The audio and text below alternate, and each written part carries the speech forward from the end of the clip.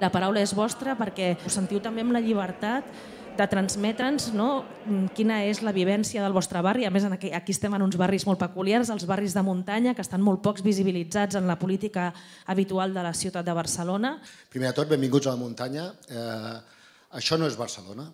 Pertanyem administrativament a Barcelona, però això era un poble de fa molts anys i des de fa una bona pila d'anys que estem resistint a l'invasor ferotgement, diguéssim. L'invasor amable és, sou vosaltres, evidentment. Us preguem que tingueu consciència que no tota Barcelona és urbana, que hi ha una petita part de Barcelona que és rural.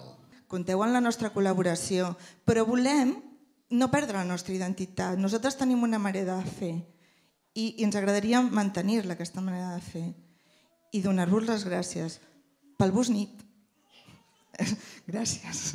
I ara, ara, ens ha costat molt, eh? però gràcies. Jo us diria, veniu a envair-nos vosaltres, us necessitem. Estem convençuts de que a la ciutat de Barcelona hi ha un excés de cotxes, hi ha un excés d'asfalt i que necessitem una mica ruralitzar una mica tota la ciutat de Barcelona. No es lo mismo que el, el bus pase a, a media hora que pase a más de una hora por los sitios.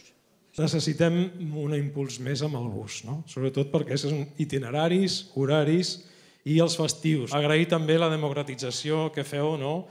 com és el projecte el Decidim Barcelona. Volem saber quin futur els hi espera amb aquestes, uh, amb aquestes propostes. Ara estem en ple procés participatiu i aquesta web, que és mm, eh, decidim.barcelona, els veïns i les veïnes no només poden fer propostes, sinó que poden comentar les propostes i poden votar les, pro les propostes que hi ha, tant de districte com de ciutat, i el que ens comprometem segur és a que totes les propostes, especialment les més votades i les més comentades, nosaltres els hi donarem resposta.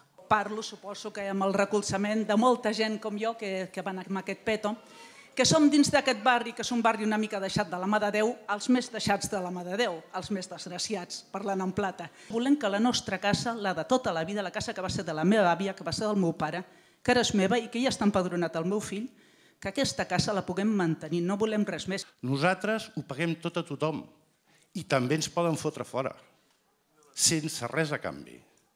Què hem de fer amb les nostres cases? Deixar-les morir? El tema és senzillament que aquesta casa, que és nostra, que ha sigut els nostres avis i que ha sigut el d'allò, ningú ens la pugui prendre.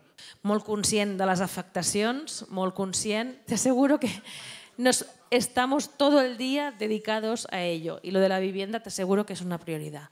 A Vallvidrera té un problema greu de, de voreres molt estretes. No arriben ni al metre d'amplada. I a tot això s'hi ha d'afegir doncs, que hi ha els pals d'electricitat al mig, no s'hi pot passar, hi ha gent que va en cadira de rodes, i els que porten cotxets. Donar-nos una miqueta més de serveis, també el tema pavimentats. O sigui, el meu carrer em sembla que fa 20 anys que no l'han pavimentat. O sigui, bàsicament el problema principal són transports i pavimentació, infraestructures. Tenim moltes dificultats perquè no hi ha internet, ja no arriba la fibra òptica i no hi ha cobertura i ens dificulta molt eh, treballar des de casa. La injustícia de pagar uns serveis que no rebem. No volem eh, luxes, volem un entorn rural, ho comparteixo, eh, però sí que volem uns serveis mínims. Realment tu penses que és, que és just pagar un impost d'IBI en aquí com si estiguéssim a Pedralbes, amb totes les mancances que aquí tenim. M'he fet molt la idea, crec, amb, la, amb totes les intervencions no? de, de com estan les situacions d'aquí dels barris de, de muntanya de Vallvidrera, perquè les coses avancin i perquè es dongui resposta a les necessitats més urgents, quan més participació hi hagi, més implicació hi hagi de tothom, segur no? que avançarem. Us asseguro que el nostre compromís el teniu, que farem tot el possible i vosaltres no deixeu de ser el màxim exigents possibles, perquè segur que així farem millor la nostra feina. Moltíssimes gràcies.